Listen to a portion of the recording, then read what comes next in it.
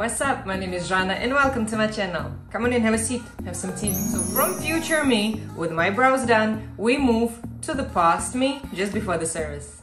Today, I want to take y'all with me on a journey to Benefit Brow Bar to do my brows. Listen, it's a very quick and nice thing to do when you don't touch up your brows yourself or you don't have any place to go to. This is just like Starbucks, you know, every city or every Sephora you're in, if they have a benefit brow bar, you are sure that you'll get the same service, the same thing every time you go there, just like Starbucks. So if you're hesitant to try it out yourself, join me and try it with me.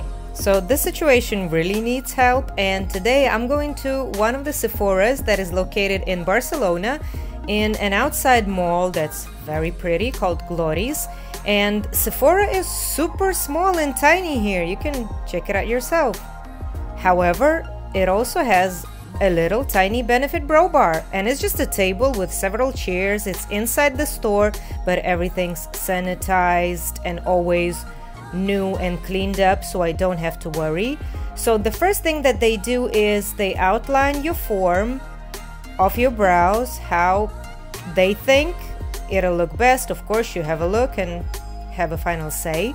Then they go to protect your skin from the tint because they will be coloring your brows and it really does look messy right now, but it is cleaned up and it stays only on the hairs. Very pretty. Then they take it off and prepare you for the waxing. Honestly, I don't mind. I don't even feel that much. But one thing is that I become very, very red after the procedure, but they can conceal that.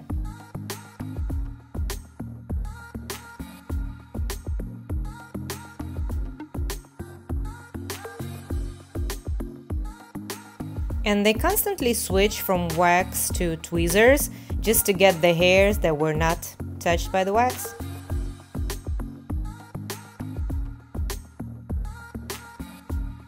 Then of course they cool off your brows or you can ask them to do that.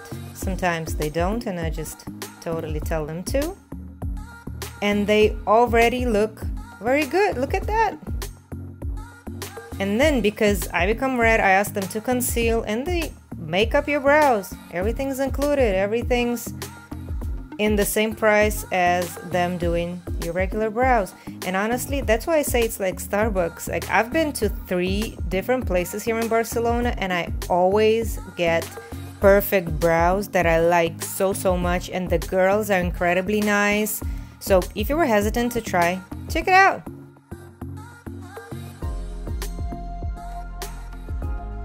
And this is the final result, all done in 30 minutes. Ladies and gentlemen, welcome back. This is a day two after the tint yesterday and as you can see they're less bright and less dark and that's exactly why I kind of do them a little bit darker because it fades away. And this tint lasts on me for like two weeks so I don't touch up my brows at all. So this is it. This is what I do every two, sometimes three months to get a perfect brow. So this is it for me. Thank you so much girls and guys who stumbled across my channel. Thank you so much from the bottom of my heart. Please highlight that like button which is time for me and I will see you next week in another video. Bye guys.